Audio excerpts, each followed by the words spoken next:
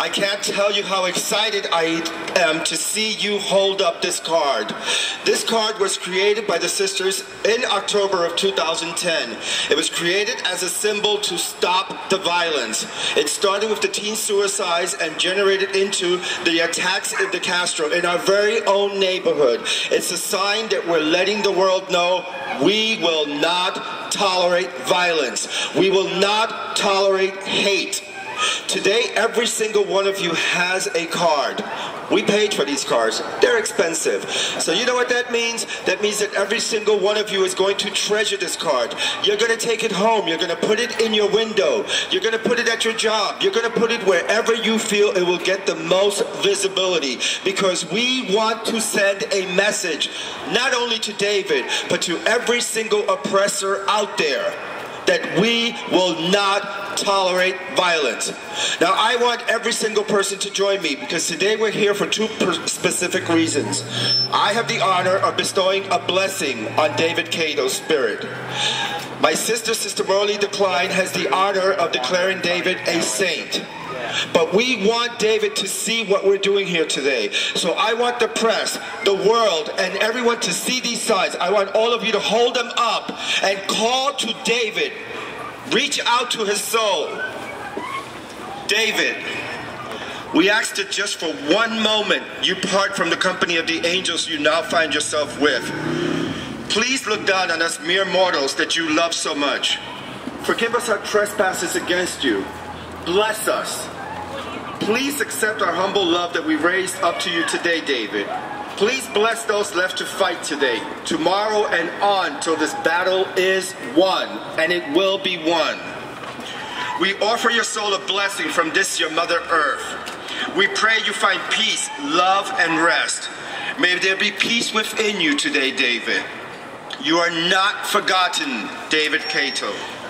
We offer you our energy that you may move on now in peace. Your battle is fought.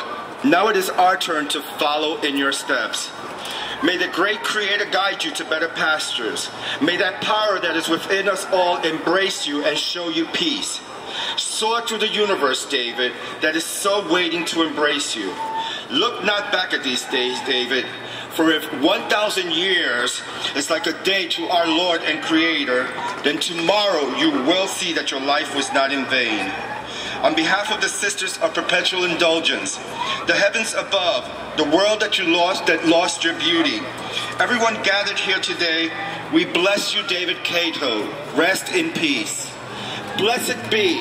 Blessed be. Blessed be David Kato. Blessed be David Kato. Blessed be. Blessed be. Rest in peace. Rest in peace. Now yell it out. Amen. Amen. All women. All women. And all the rest. And all the rest. As a gay community, we have some amazing opportunities, some amazing advantages, and some truly unique challenges that we face on a day to day basis. When the rash of recent violence against our community stuck its head into our world, the sisters, with our wonderful community partners, rallied together.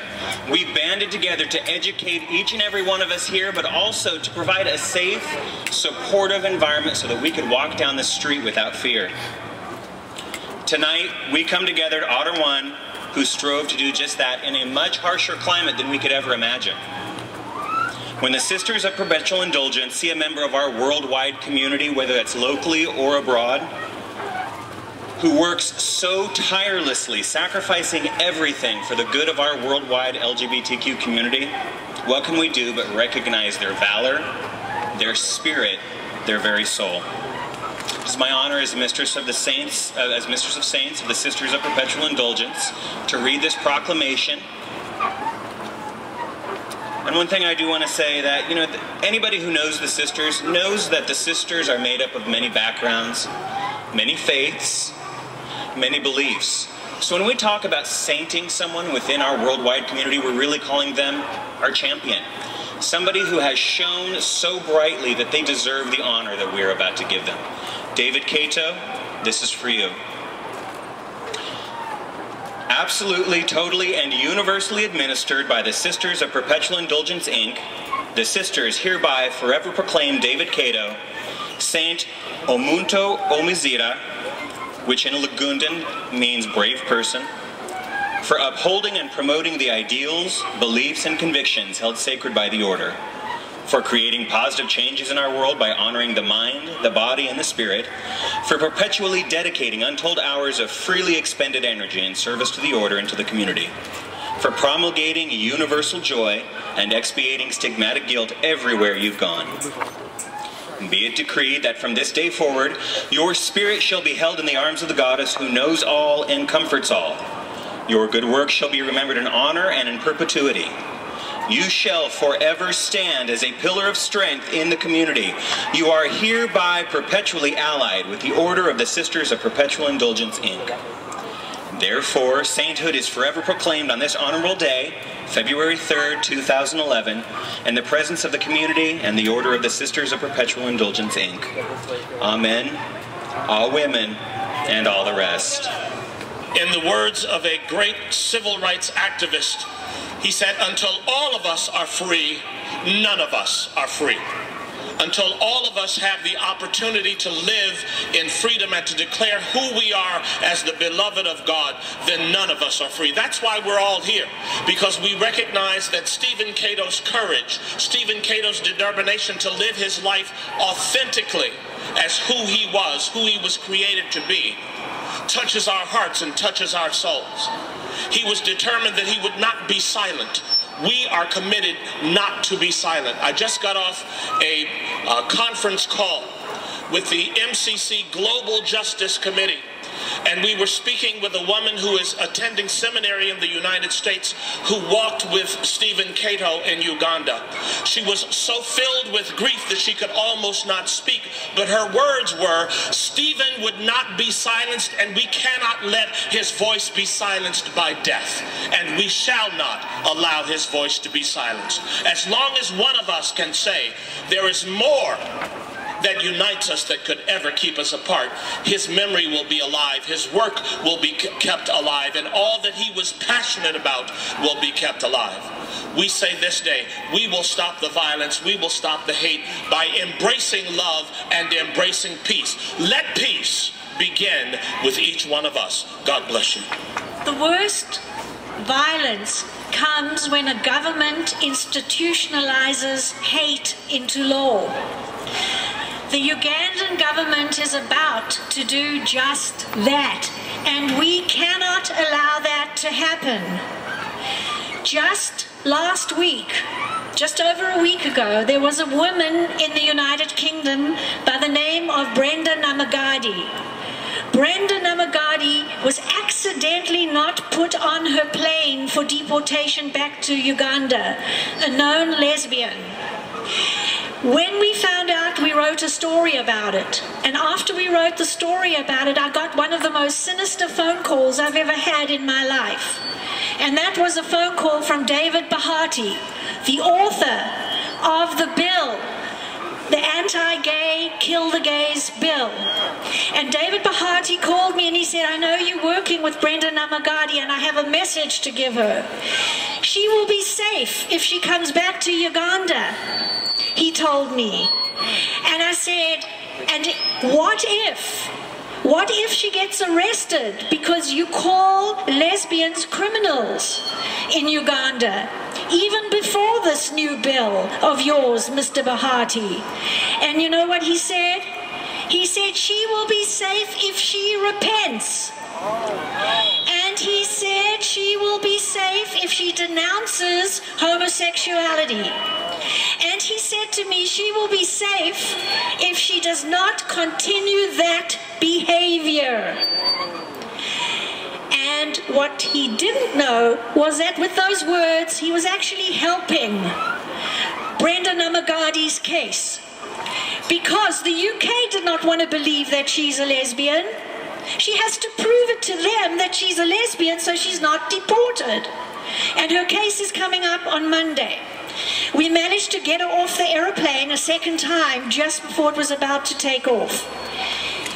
Irony, in Uganda, she has to prove that she's not a lesbian now. And in the UK, she has to prove that she is a lesbian. What the hell is going on? Ladies, gentlemen, and everybody here tonight, this is really, really important. We must stop the violence, and the violence is in our government. Our violence is happening when we send people seeking asylum back to countries like Uganda.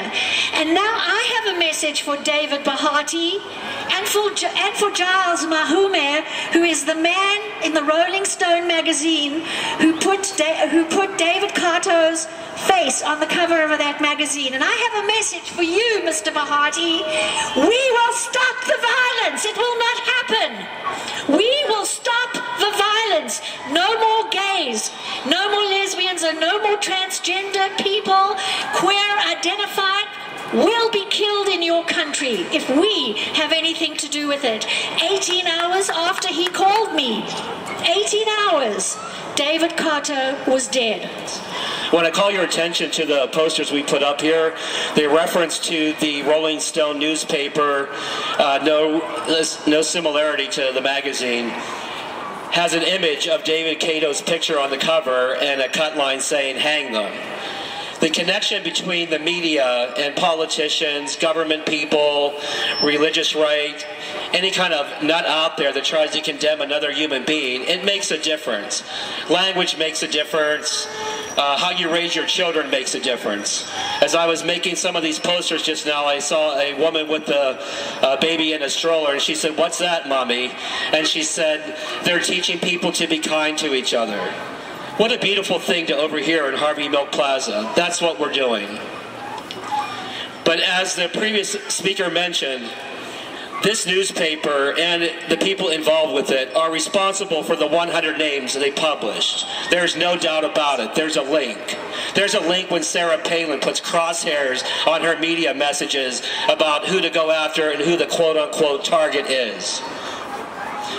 The flyer that I'm holding is very important to me because I believe in accountability, and Lord knows I hope I believe in karma. It says blood on their hands. Ugandan MP David Bahati, who introduced in 2009 the anti-homosexuality bill, a legislative proposal designed to criminalize any advocacy or support for LGBT people and to punish homosexual conduct with the death penalty under certain circumstances. The bill was promoted by United States evangelical Christian leaders, including Scott Lively, Don Schmierer, and Caleb Lee Brundidge, who met with Ugandan parliamentarians and advocated for increased strictures against homosexuality while preaching in Uganda in early 2009. The organization, The Family, a highly secretive United States-based religious and political organization, get this, founded in 1935 and led by Douglas Coe, is connected to the authors of this legislation. So while we lower the flag in honor of David Kato and his spirit, it's important that we hold accountable and connect the dots as to why hate happens. You're not born to hate. You're not born with prejudice. You're taught it from your surroundings, from your schools, your parents, your government. And I'm just going to close with I think it's ironic. Sometimes I never met David Kato. He doesn't know me. You wonder, why does this matter? The irony for me is as I was putting up the posters, the one I had left that I thought, well, I'll hold this one, is the one I cut my finger on. So I now have blood on my hands. But it reminds me, everybody here, we all bleed red. That's the commonality. We're one human race. No one has the right to judge or oppress or harm or torture or demean any other human being. And that's why Gays Without Borders exist. We bring attention and awareness and action, and we do have an impact. So thank you everybody for being here. Don't ever give up the fight, even if you're the only one standing here in the name of somebody who was harmed. Stand up and say, stop the violence. Thank you.